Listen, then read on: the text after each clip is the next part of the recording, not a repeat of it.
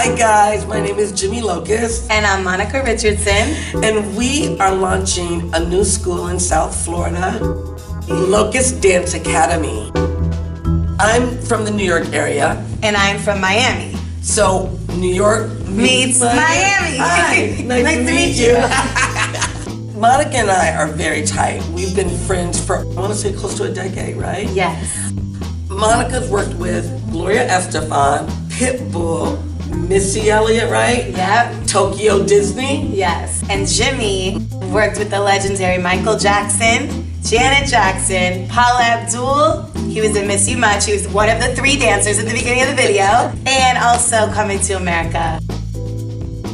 The children and the adults will get all that experience yes. from us. We are both very different and unique.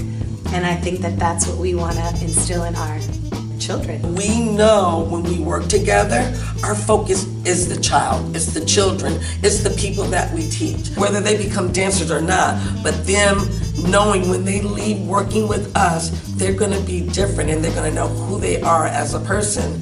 We want to support them in that. We want to give them the confidence, allow them the instruments and the tools to just be the best that they can be.